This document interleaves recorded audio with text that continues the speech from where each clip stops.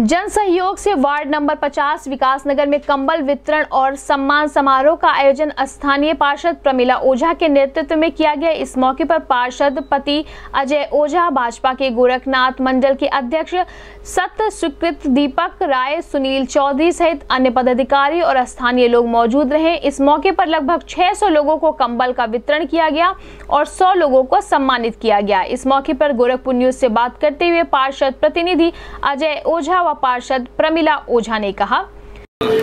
Yadav.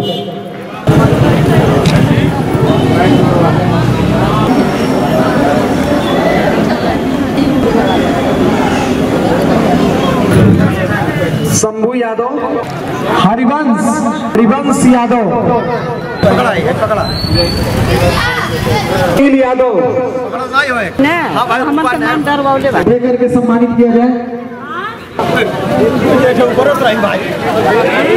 Tempatnya, sebentar tempatnya. Nitin हाँ सुनील भाई देखिएगा।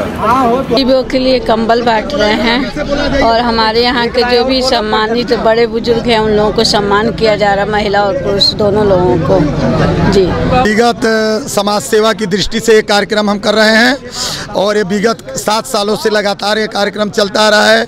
यहाँ के हमारे व्यापारियों भाइयों एवं यहाँ के बुद्धिजीवियों एवं समाजसेवियों के सहयोग से यह कार्यक्रम अग्रसर हमेशा सात सालों विगत सात वर्षों से चलता आ रहा है। कितने लोगों अभी तक आप कंबल वितरण करेंगे? करीब 600 लोगों को कंबल वितरण कार्यक्रम है। करीब 300 लोगों का कंबल वितरित हो चुका है और अभी जारी है। शाम तक ये कार्यक्रम चलता रहेगा। सम्मानित भी कर रहे हैं। जी सौ सौ वरिष्ठ नागरिकों को सम्मानित किया गया है। समाज के हर वर्ग से जो भी वरिष्ठ हमारे हैं सीनियर सिटीजन और करीब 25 महिलाओं को भी सम्मानित किया गया है। जो सीनियर सिटीजन महिलाएँ हैं उनको भी सम्मानित किया गया है। शासन की योजनाओं का भी प्रचार प्रसार चल रहा है क्या? हमेशा के हमेशा शासन के योजनाओं का प्रचार प्रसार ज़ोर शोर से चलता है।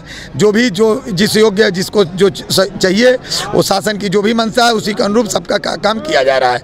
और उसका लाभ शासन का दिया जा रहा है लोगों को।